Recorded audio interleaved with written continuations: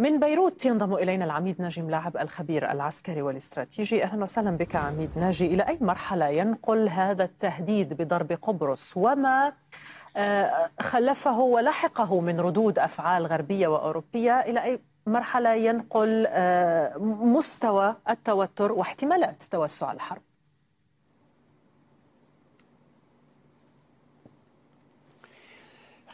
اولا قبرص الرسمية كحكومة قبرص صحيح أن على لسان أمين عام حزب الله حكومة قبرص باعتبارها يعني كل أراضي قبرص بيد قبرص غير صحيح يعني اليوم القاعدتين البريطانيتين في قبرص هما يعني أراضي ملك للتاج البريطاني. عندما أعطيت قبرص استقلالها عام 1959 جرى الاحتفاظ ب 4% من أراضي قبرص لصالح التاج الملكي البريطاني وهي كانت مستعمرة للبريطانيين، لذلك السيادة على هاتين القاعدتين هي للتاج البريطاني وليس لقبرص. وصحيح أن رئيس قبرص قام ب يعني كان رده واضح جدا بأن لن نسمح بأن تكون قبرص مركزا لأي دولة ضد أي دولة أخرى، يعني هذا الكلام ينعكس على قبرص وعلى سيادة قبرص وليس على هاتين القاعدتين خارج السيادة. ولكن البريطانيين البريطانيون يبدو أن صحيفة محترمة كالتلغراف أن تنشر أمورا حول مطار بيروت وما يختزن من أسلحة ومن صواريخ وتنسب إلى يعني جهات مجهولة ومن دون أن تحدد هذه المصادر وحتى أن تغير حتى ما نشرته أثناء النشر وبعد النشر غيرت عن الاياتا مثلا.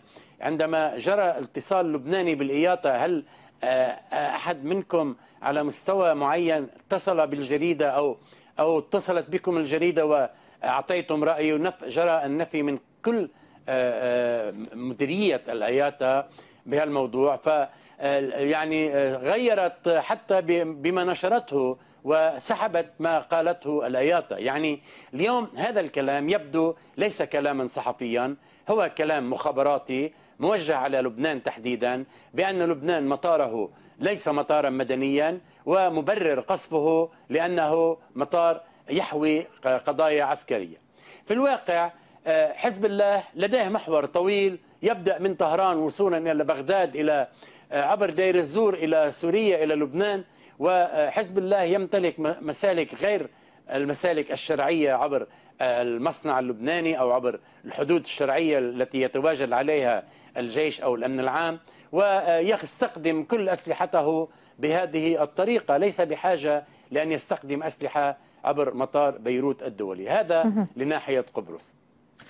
بالنسبة لقدرات حزب الله حقيقة عام 2006 فاجأ الحزب إسرائيل عبر ضرب الطراد البحري هنيت بواسطة صاروخ مضاد للسفن ما خلف عددا من القتلى وقتها في صفوف الطاقم وتفاجأ العالم وإسرائيل بهذه الضربة.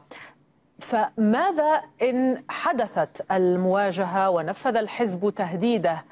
ما الذي يمكن أن يخبئه بين قدراته العسكرية؟ واقعياً؟ نعم عمليا لديه صاروخ صيني غير الياخونت وطورت إيران هذا الصاروخ الروسي الأصل الياخونت بحيث يصل مداه إلى 300 كيلومتر وبالتالي يستطيع وهو ذات قدرة تدميرية كبيرة ونحن لا ننسى أن إسرائيل استخدمت واشترت من الولايات المتحدة سفينتي إنزال.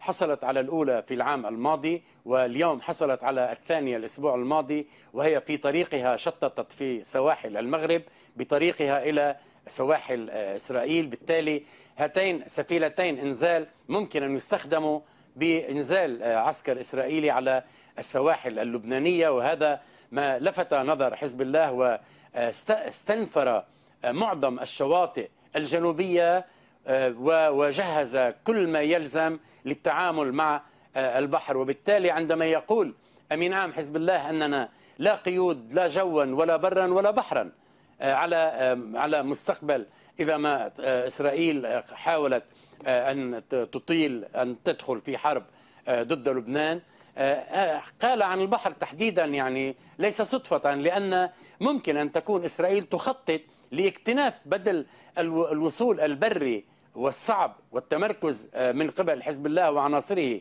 في برا ممكن أن تدخل بحرا بإنزال معين بأماكن معينة لإرباك الساحة من خلف تمركزات حزب الله. وهذا ما استعد له حزب الله. شكرا لك من بيروت العميد نجم لاعب الخبير العسكري والإستراتيجي.